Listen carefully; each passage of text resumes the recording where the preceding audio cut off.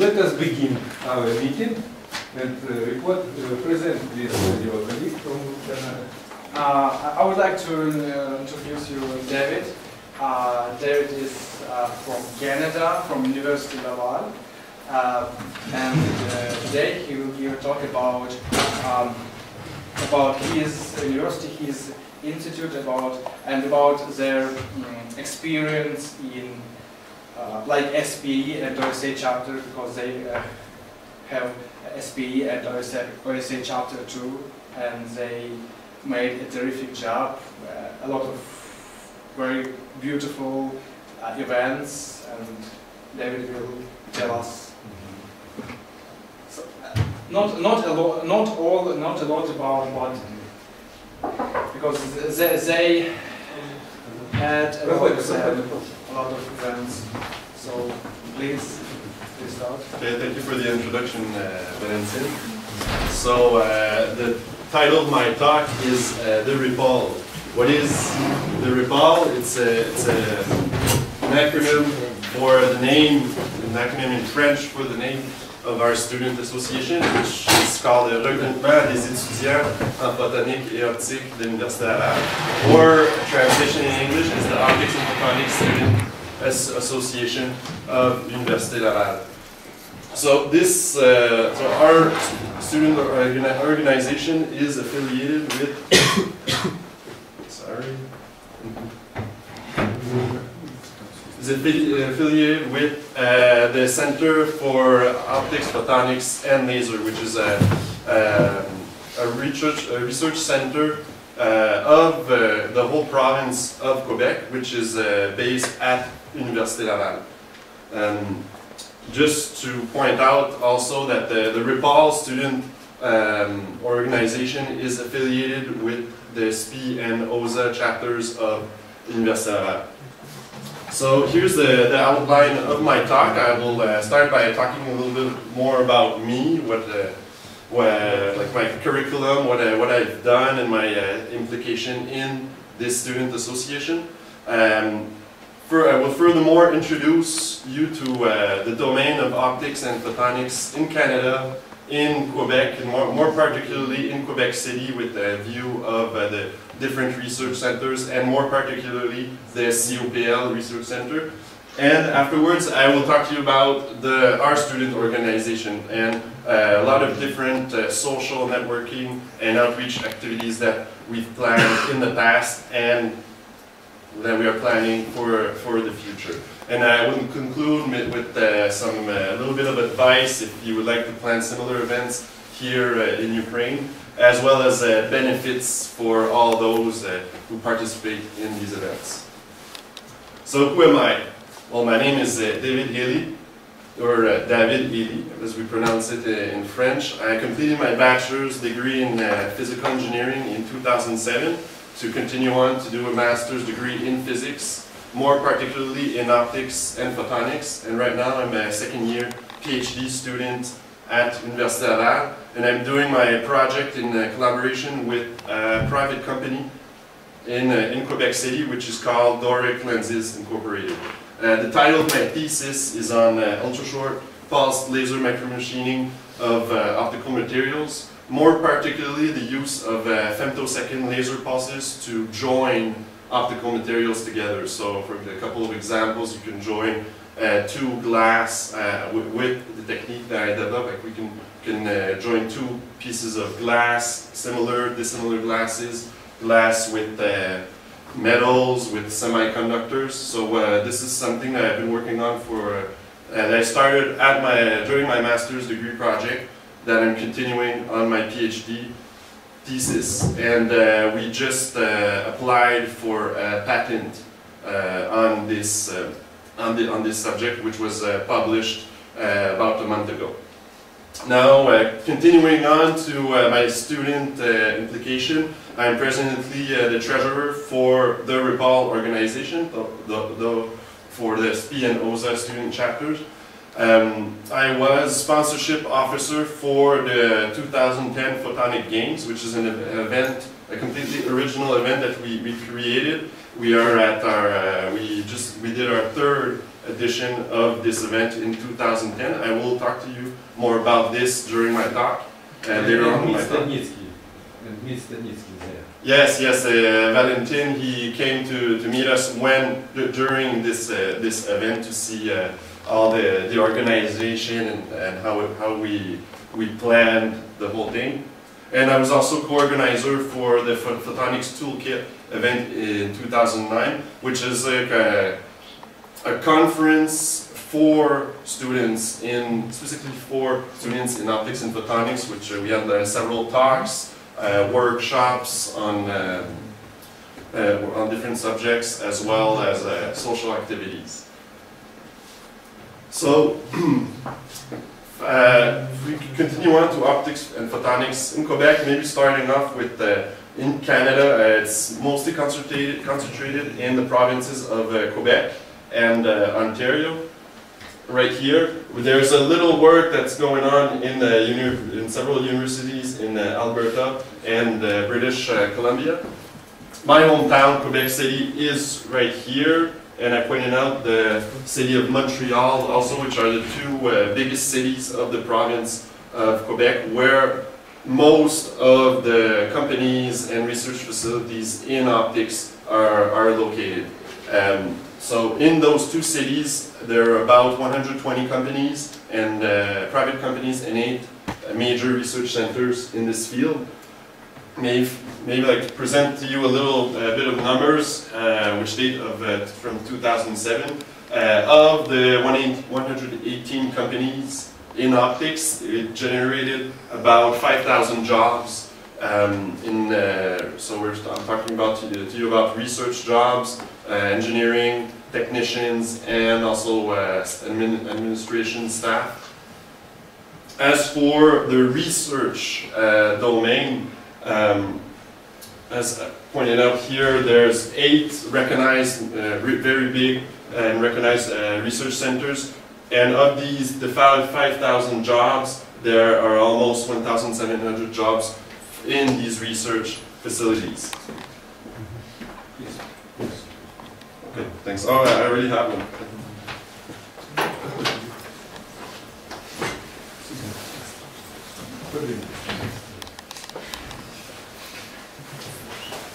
So continuing on to maybe to precise to you uh, what's going on, more particularly in Quebec City, we have four of the eight major research centers of the province of Quebec, which are all of uh, different vocations here, as you can see, private, military, medical, and university.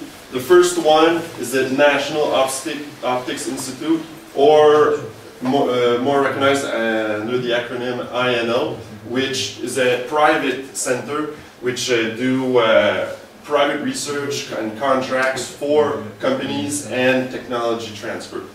Continuing on to the military research center, uh, it's called the Def- Defense Research and Development Canada, which is based at the uh, Valcartier Army Base, just on the outskirts of the city, where they concentrate on uh, developing using lasers and light for military applications such as uh, LIDAR, spectroscopy for like very long range uh, applications. Continuing on to the medical, there's a medical part, there's a third, third research center called, uh, is named Université Laval Robert Giffard, where all the work on uh, the biophot- biophotonics sector is done. And finally, the university at Université Laval, we uh, is host to the Center for Optics, Photonics, and Lasers, where we do mostly fundamental and applied research in a lot of different fields in optics, as well as uh, education, so to educate our the future researchers.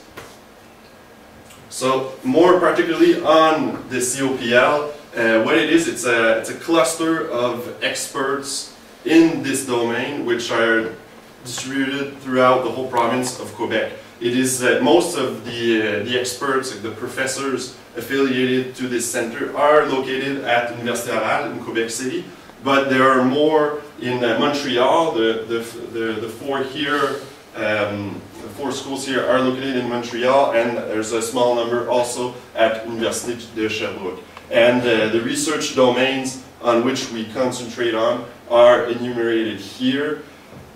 I have a, a video to present to you, um, which will give you more detailed information on the research that that is done at the COPL Research Center. So uh, this is what I'm going to present to you right now.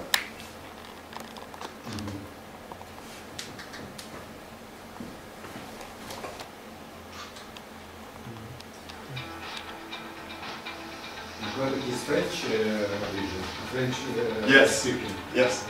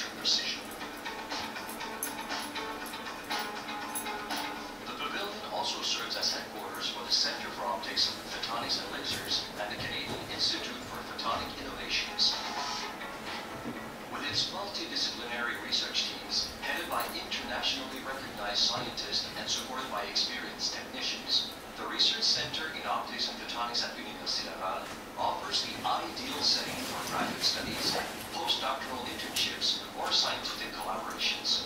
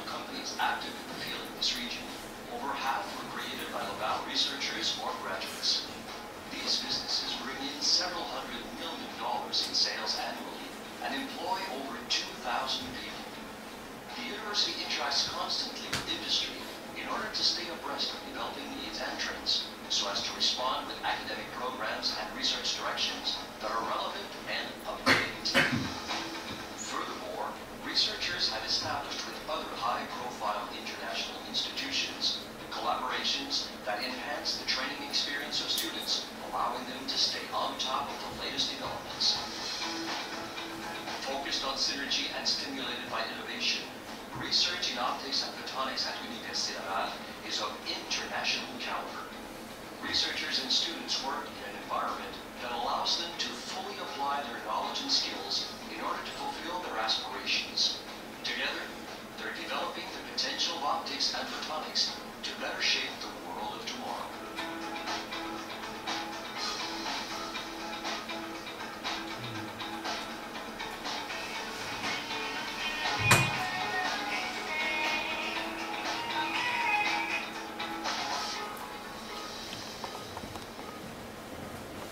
Maybe some questions. No, it's, Huh? I think later, Later. after the Yep. Um, if you want more information, I brought some uh, flyers here with a link to uh, the website of the research center. Continuing on, that, that concludes my uh, introduction to my talk. Uh, I will, uh, for the remain- re- remainder of my talk, I will talk to you about the RIPAL and uh, a lot of different activities that we have organized. Uh, first of all, uh, like as I mentioned, uh, the RIPAL is uh, the student association for graduate and undergraduate students in optics and at Université Laval, and we are affiliated with the SPIE and OSA student chapters. What we did is we uh, created this RIPAL organization, which will, will host both the SPIE and OSA chapters. And we've given ourselves the main objective is to promote the field of optics and photonics toward current and potential students as we could extend this also to uh, the general public. And uh, how we do it is that First of all, to take care of our current students, we organize several social activities like uh, parties, summer mixers, uh, sports exporting act- activities. We also plan industrial visits to, uh, to sharp up the, their interest in, uh, in, a, in a future career. Uh, we also organize con- conferences and workshops to um, for, for them to learn new skills, skills that they wouldn't really have in a university uh, course, normal university course. And for to promote the field for towards potential students and um, and the general public, we organize what we call like outreach act- activities. So this is who we are. We have uh, the two presidents of the SPIE and OSA chapters. There I am. I'm the treasurer of uh, this uh, association, and e- every officer has their their specific role for the for uh, our activities to to go well at every time. So I'm going to present to you the several different activities that uh, we have done. Uh, first, first of all, is the, the annual Christmas party that uh, the RIPAL organizes in collaboration with the research center, and it takes a little different form every year. Uh, for example, this year we ordered uh, takeout food. So everybody had their little little meal, and they were invited to bring their own uh, beer and alcohol. Uh, we also took out different games with with the, the optics and photonics uh, theme. As you can see here, this is what is a this is a, a game that we created. It's an uh, it's optical. So instead of uh, using a ball, ball, you use a laser beam, and uh, you will guide it with mirrors uh, throughout a course with obstacles. And each mirror that you use will serve as a as a, a hit of the ball. So, and everybody is invited to this event. As you can see, this is a, a lot of students. This is a, a technician working for uh, for the center, and professors too are invited. As you can see here, this is uh, my advisor who is uh, trying out the the optical mini mini putt game. Uh, every summer, we also organize a summer mixer uh, barbecue. I'm not sure if the term in English. Uh, we could talk about a five to seven. Um, but again, everyone who is affiliated to the center is invited. Most, mostly students show up, but we still get a, a few professors. But this this time was uh, the last summer when we did this activity was very there, there was a very special event Okay, as you can see by Veronique's face right here, she's like, oh my god, and she's pointing to this guy. Who is this guy? I don't know if any of you recognize him. Probably not. His name is Luc Langevin. He is now a pro- uh, professional magician who is building his career. He's very popular in, in Quebec City. But why I'm talking to you about him is that he's a former student in physics at Université Laval. I had some uh, courses with him as an undergraduate. And he, uh, at a moment in his career, he was forced to make, a to make the decision either he, to pursue his PhD or to pursue his career as a magician. So he chose to pursue as a magician, and now he has, a, he has his own TV show.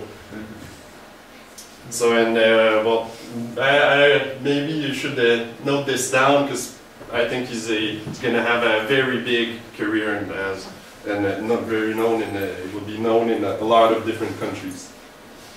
Other, uh, this is something that is a, the, the, an annual pizza party which is offered by, by OSA. So uh, Valentine, I don't know if, uh, have you ever uh, organized a, a Uh, no. pizza party? No. Okay. Because this is uh, something that OSA offers to all of its, uh, its chapters, so one pizza party per year, which is again an, uh, an opportunity to uh, gather around, uh, eat pizza, drink beer, and uh, the, the, the last time we did it, well, I didn't have a babysitter for my daughter, so I just brought her along. Here she is. So she was very happy, and everybody was happy to to, to play with her.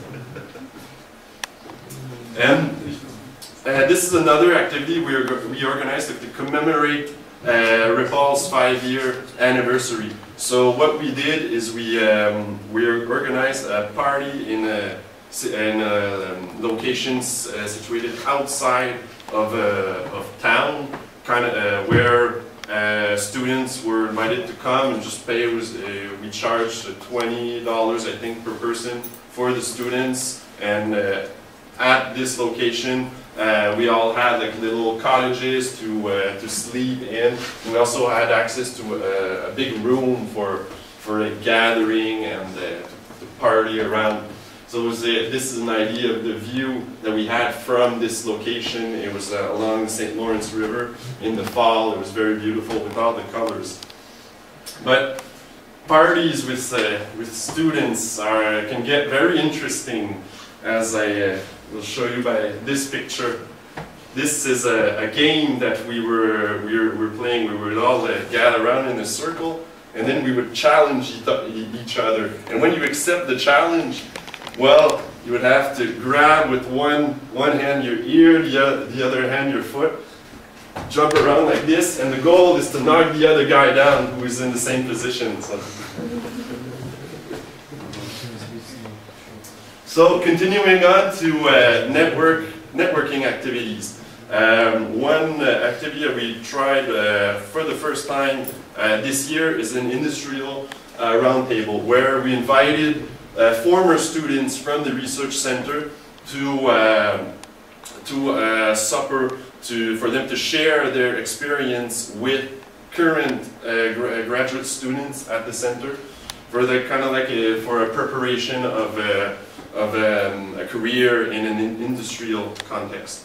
We did something similar um, with another event we called the Graduate Undergraduate uh, 5 to 7, which we, uh, where we invited uh, undergraduate students in physics to come meet graduate while uh, having uh, while sipping on a couple of beers at the same time for for them like to ask questions and kind of like a, a bolt up uh, the possibility for them to pursue their career as graduate students. I think the picture here is a nice representation of uh, the public that were that uh, the, the people that participated in this event. Um, last year we celebrated the research center's 20th uh, 20th anniversary. So uh, in collaboration with the research center, we uh, we helped organize this uh, one-day conference to uh, to commemorate to commemorate uh, this uh, its anniversary, which and it took a form like a whole days a whole day of activities like conference talks on different domain. As a couple of examples here, we, we had a presentation of the history of the research center, so from the from the beginning and the, of, of its form, and then uh, all the members that, uh, that passed through it. Uh, we had also several talks given by professors here.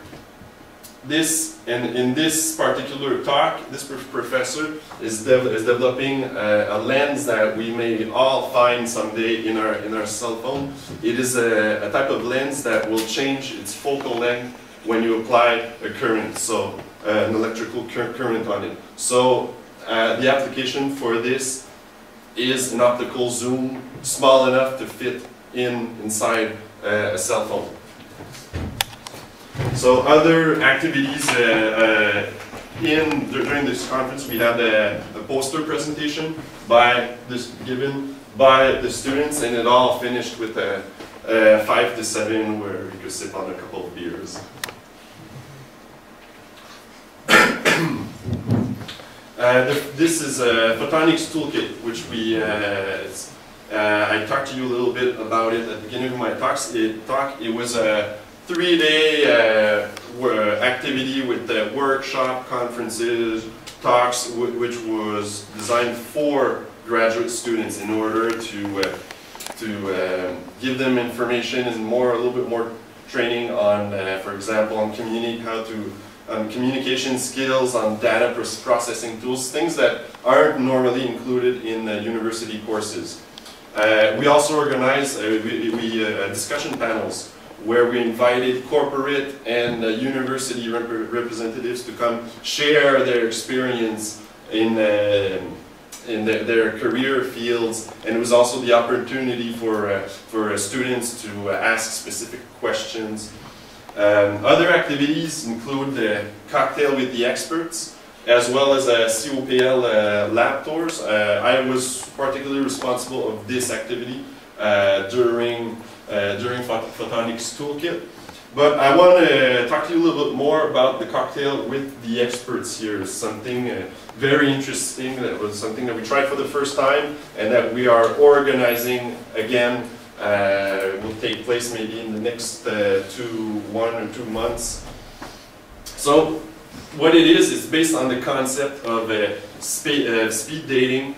Well, we invited corporate, several corporate representatives from companies in optics to come to this event, where we would uh, sit, uh, make the corporate re- representatives sit at tables, and we grouped up the students. So, at the beginning of the event, the groups of students would uh, go meet a particular uh, group of representatives and based again based on the speed dating concept after about 10 minutes the bell rang and then the groups would change table and it would go on like this uh, until everybody has met everyone. And the goal of this would be like to uh, to break the ice for uh, for afterwards for to, to pursue discussions while enjoying uh, a light meal. So uh, everybody uh, really liked this activity. That's why we're going to do it again in the next few weeks.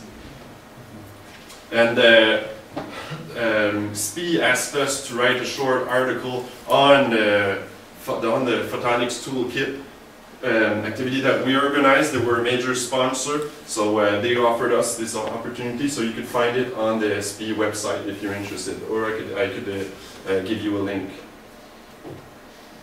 Um, another activity we uh, organized is the Re- Ripple COPL grant. It's to uh, to award students who have uh, contributed to the advancement in in science, and to, to award great students by giving them a, a grant, a 500 grant, dollar grant in this this case, where uh, the rules are, the particular rules are that he, he must be a SPIE and OSA student member. He, uh, he must have published either an article or a proceeding in it during the last year. And um, they, he must give, he or she must give a 12 minute presentation uh, in front of public and a jury followed by a question period, and a jury made up of uh, professors of the center will decide the winner afterwards.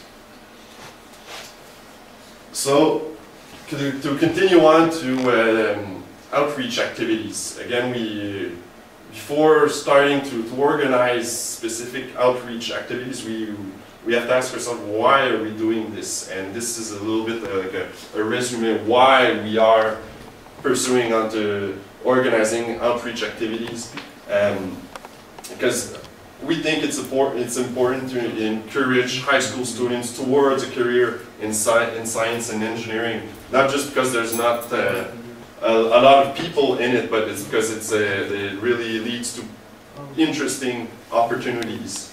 So uh, another goal is to convince them that uh, science isn't boring. You can have a lot of fun while learning science. And we do this by like uh, uh, I give the example of the optical mini-putt game. So this we, we, we created a couple of games like these to, to, spark up interest. And specific activities that we organize are enumerated here. Um, and I will talk to you in the next slides more particularly on these activities, about these activities. So uh, these three the Science Day Camp, 24 Hours of Science and Girls Arts and Science, we participated as like a, uh, to organize a small workshop, but these were bigger events, much bigger events that were organized throughout the whole university.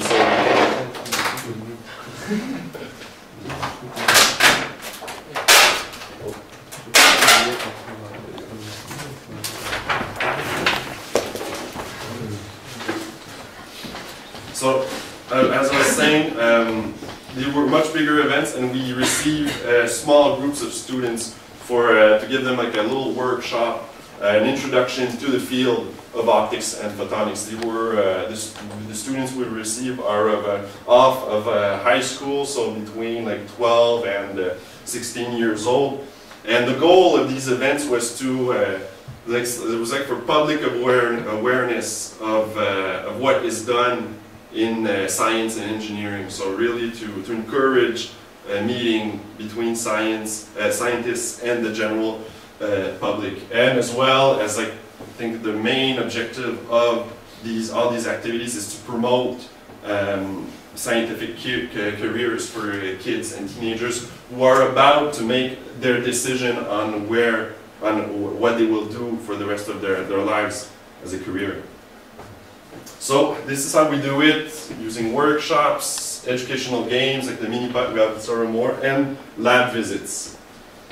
So when we do workshops in the, in the classroom, we talk about like different phenomena that we encounter in optics, but we really, uh, we don't go in, in all the details, just, just like to, for, for them to know about like approximately what these different phenomena are and um, the sources of of these, uh, uh, we, we, took, uh, we took the ideas from these sources here for the organization of the, the workshop. So here are a couple of examples, like a, like a bunch of teenagers exploring with a, a, te a telescope where by changing, you, you, can adjust the focus by changing the distance between two lenses. Um, in this activity, they're discovering that the reflective and refractive properties of light, where the goal is to, to control the trajectory of a, a beam to, uh, for it to attain a target. So kind of like the same idea of the optical mini-putt game.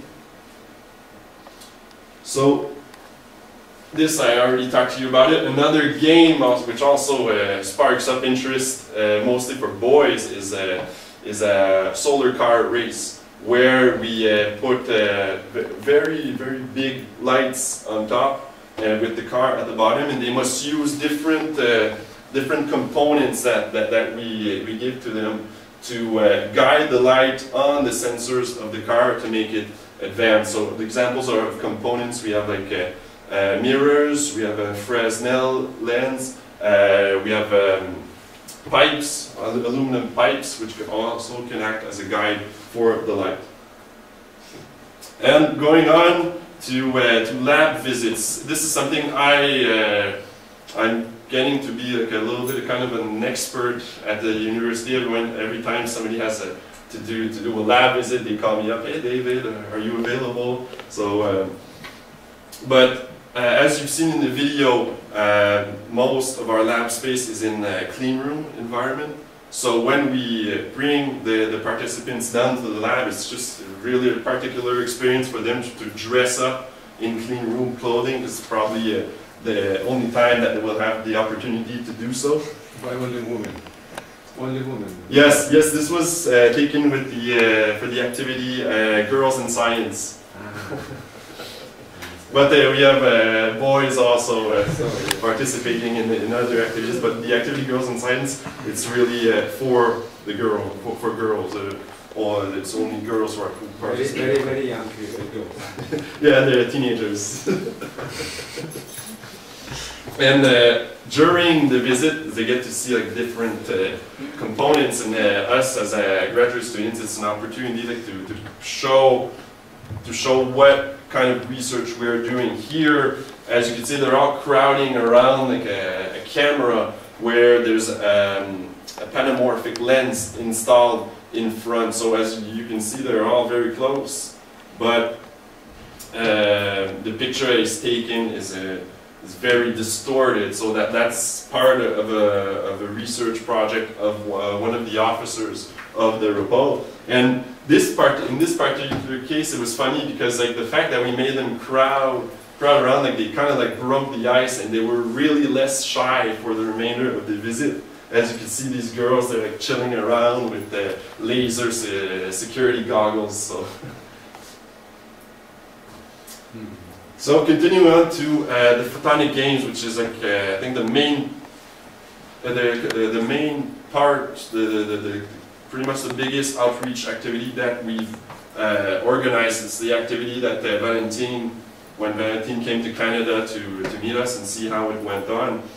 So what it is is a one-day competition where we invite uh, 11th grade students to the university to compete and uh, the winners will get prizes at the end. So it's kind of like a motivation at the same time. Uh, the first event, uh, the first time we organized this was in 2008. Um, we had uh, started off with uh, 60 students from one school, but in 2010 was much bigger. We uh, invited 150 students from uh, three schools to come compete.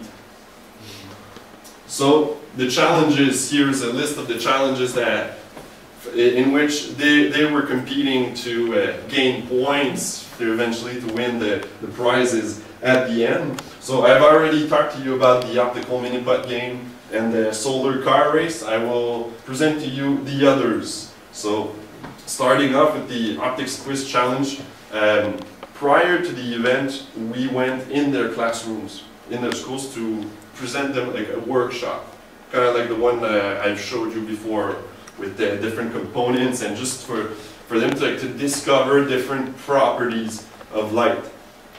But so, so they were prepared to answer a couple of simple questions. So I've, one here, uh, what an example of a question where that, that, that they were asked during the, the quiz challenge. The gel optics challenge is again using like their knowledge, basic knowledge of the properties of light. They would have to control the trajectory of rays emerging from a ray box to send them to different targets. And the more targets they send to, the, the more points they accumulate. So what it looks like is, is this. So you place the ray box right here, and these are the targets. These are other targets where you have like positive point counting or negative. So the but why it is called gel optics is that we uh, we give them a kind of like a, a gelatine material that they can cut out with the shape that they want and use by using its refractive properties better guide the light light, light emerging from the ray box. I think uh, here you could see come there's a couple rays coming out here and using jello and different components, they can send the rays pretty much where they want. The laser maze challenge goal is to pass through the maze without sounding the buzzer. So how we did this is that we, it's kind of like on the basis of a, a security system like you see in the movies. There's like uh, laser, invisible laser beams that are, are close to the ground, and if you step on one, well, the buzzer will, will sound. So it's really using this uh, this concept. So they were kind of like blind; they, you couldn't see the laser beams at all. And by trying a couple of times, uh, they would have, they would learn like to put the to place their feet at the correct positions to get through the maze without uh, cutting off one of one of the beams. Um, when I tried it, I was like uh, I passed uh, well, the um, the participants, like the the organizers, we, we got a chance to try it also, and uh, I was getting a little frustrated because you can't see the beam and like trying to guess where it is. So what I did to pass through it is I jumped from here to here, and it worked. Afterwards, this beam here at the end, well, it's um, it's not at the ground level; it's a little bit higher, so you have to like uh, duck down to pass under under the beam. And uh, of course, the lab tours, it's, uh, it's always something very, very special for uh, the participants. So we, uh, again, they get to dress up in clean room clothing. There are a couple of boys also in this one. um, and um, I asked uh, friends, of, friends of mine to wait for us at their, their, their, in their lab to present uh, their, like their project. Here's is one of my friends who's talking like, uh, a group of students about uh, like an optical fiber, the properties of uh, optical fibers, and what he's doing for his project. Uh, you can see here is a, image, a microscope image of an optical fiber. And like we also uh, try to do uh, demonstrations, like to really, for them to be, I know the word in French, I remember in English. Um, like to, to, to call it like, wow, this is impressive. So what he did here, an example here, is that uh, this is a lens for uh, a CO2 laser. It's a glass piece, and by sending like high power la CO2 laser beam, um, you get this uh, white light emission. So, so it's just like uh, something very impressive. Doesn't have particular application, but. Uh, here in this picture, it's another station uh, where we have a um, scanning electron microscope here and, and his operator who is kind of like talking about what he can do with his microscope and showing uh, very neat pictures. And the final contest is uh, the, the photo contest. These, these photos here are pictures taken uh, by the participants of the Photonic Games. What we do is we, uh, we offer them really a lot of different materials for them to, uh, to uh, like compose something that may be beautiful, maybe not. So the, uh, I think I've chosen out like uh, some of the best ones. I know that the one of the, the, the criteria is that we ask them to like illustrate uh, some properties, uh, some of the properties of light. So this, this picture here was the runner-up for this edition because you can, there's a, the perspective of the image that's very nice, but he clearly illustrates like the reflective and refractive properties of light. This one here is uh, last year's winner, and uh, it was it's uh, the most beautiful picture that uh, we have gotten up to date. Uh, we use it uh, for uh, uh, the RIPL uses it for publicity, and even our research center uses it now for like just to, to have like really neat pictures to show. Here are the, the 2010 edition winners. So we we give them they each receive a certificate saying that they their grade, they won first place, and their prize was that they each get a $150 uh, certificate card in, uh, in the Quebec's uh, biggest shopping mall. So, so that's really a nice uh, motivation for, uh, for, for them to be competitive during the competition. Hours. Yeah, yeah. And here is all the, the staff that was required for, for uh, the 2010 edition. So the officers of the event are all here, here I am, and these are all uh, graduate and undergraduate students who helped us with the organizing, the planning and the organization, and like uh, to to greet all uh, all the the high school students during the event. So, few, uh, I'd like to give you a couple of tips if you uh, ever you're interested in planning uh, something uh, similar. Um, first of all, start early. The earlier you start, the more time you have to fix uh, things that uh, that aren't planned. And of course, you have to have a you have to gather a good team of organizers, and it's very important that inside this team, each person has their specific tasks. As, a, as an example, this is this was the the committee of the Photonic Games, and we really had each our specific tasks. Of course, we could help. We could ask for a little help if we uh, had a little trouble. But uh, another tip is to keep things simple for the schools. Uh, so is something. Um, it's not common for the for the, the schools to send off their um, their students on trips. So it is very important to keep things very simple. So like an example for this is that the, uh, we paid for the buses to bring them from the school to the university and back, and we also have to uh, to respect um, the the hours at which they must be at school. Uh, next thing is uh, to choose a date wisely.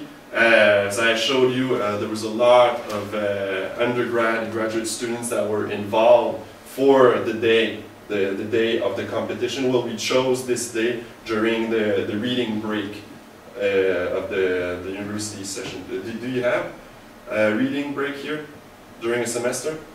No, No. no, no. No? Okay. So well, well, what, it, what it is is During it one just- in your university. Yes, yes, each semester, well, for, for undergrads, undergrads get like a, it's- we call it the reading week. Uh, at the middle of the semester, it's just a week where they have no courses, so, In Kiev, there is a university, uh, Kiev Mohila University. Yes. You know, there is, exists this uh, reading. week. okay, okay, a reading week. And finally, I think to, to conclude, like, uh, the tips, uh, science is fun, yeah. You have to have fun doing this, and maybe see it more like a, a big job, you probably, it's probably not your place to, to be, to try to organize this if, you're not having fun while you're doing it, so. The, this activity, and we're at our third edition, we won uh, several uh, awards for, uh, which helped us a lot to get uh, grants and to, uh, to accommodate 100 150 students instead of only uh, limit ourselves to like uh, 60 students in one group because the more students we have, the more uh, money we need. So, so here's a list of uh, the contests that, that we won. The Force Avenir contest, which is a, uh, an outreach um, contest uh, in Quebec where uh, two years in a row we were provincial uh, finalists. For the 2010 edition, we, we got uh, Laserfest outreach grants, and of course, P and OSA are very important actors for, for this. Without them, we could have never get sufficient funding uh, for, for the planning of this activity. Um, we also won the OSA, Foundation Photo Contest winner. It's uh, tied off. It's uh, uh, tied off to the the Photonic Games because well, here's the picture. Because it was a picture taken during the Photonic Games event. So thi- this was recent. We got this confirmation uh, just uh, like a month ago. Won this contest. So again, it's another gave us another grant for next year's edition of the Photonic Games. Benefits of this. So what? Why why is it interesting for everyone to, to participate in these events? I think uh, for the participants, the the students that we uh, we receive, it's a kind of like a unique experience. uh, for learning and uh, it helps them develop also self-esteem. Uh, more particularly the winners of the event. The event is like, uh, wow, uh, came first place or second or third over 150 students that participated in this. And it could surely spark up interest also in the studies and career as uh, scientists, engineers, a career in science, maybe particularly in optics photonics, it will, will punch in the balance, but for our organizers, so like the, the whole uh, organizing committee, it's managing skills. And these are skills, again, that you don't really get in, uh, you, don't, you don't really learn in, um, in university courses. You learn them by managing yourself, uh, by, by uh, participating in such activities. For all the volunteers that were uh, that, that were um, that participated in, in this, um, most of them were uh, animating several activities. So these are like uh, these are teaching skills that they're developing, as well as an opportunity to do, to do uh, networking with other other uh, undergraduate and graduate students. For the host center, of course, it's a lot of visibility and publicity, and it's there's a potential to uh, attract uh, future future students and like for and for like uh, the students that we we invited for them like, to come. It's like probably the first time visiting university to give them uh, the um, for maybe it will be they will they will want to come back afterwards after like after uh, breaking the ice. And finally, for the sponsors, this part is not always uh, easy because uh, it's not always easy for potential sponsors to give you money for your event.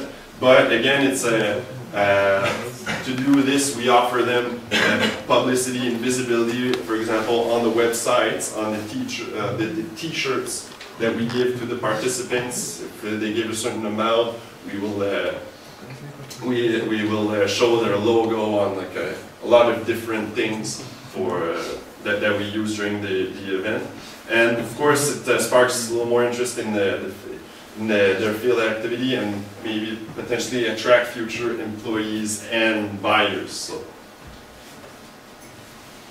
I would like to conclude by uh, talking to you about the benefits of being an OSA and SPIE student member. I've been a member of the RIPPL for uh, almost three years now, and it's a little list of, uh, of benefits. Of course, uh, when you sign up to OSA and SPIE, they ask you, um, would you like to, uh, to receive a free online journal? So at my house I receive uh, online. So you have access in your through email to these online journals, and you receive also a, a magazine by the mail to your house of uh, it's like kind of like a of um, the it's a publication of OSA and SPIE where they talk about breakthroughs in the in the domain. Particularly all these uh, these organizations, again SPIE and OSA, uh, they're very important to us because uh, we couldn't uh, do all, uh, all that we do. We have done uh, without their support and, and funding. Université Laval and the COPL because they're our host university and uh, they give us really a unique um, it's really a, a, unique place to uh, uh, to learn like for for graduate students like to evolve in a, a kind of high tech place with the, with the high-tech uh, laboratories and, and equipment. I would like to thank you for uh, your attention and a warm welcome. I, I've been in Ukraine uh, since yesterday. I'm having a really great time. So thank you very much. So, continue, please.